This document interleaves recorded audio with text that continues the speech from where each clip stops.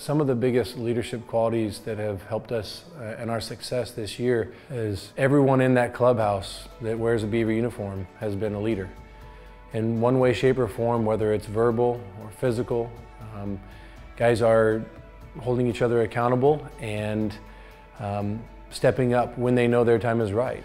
Whether you're a, an older guy or a younger guy, everyone's owning up to their roles um, and, and not afraid to take on the charge when their name is called. Melton slashes it down the line, and the Pac 12 Player of the Year calls game. From my time here and anything that I'm trying to pass on, I think it's just about being honest and doing the right thing. The, the big part here is uh, being a family. When you talk about being a family, you have to act like a family.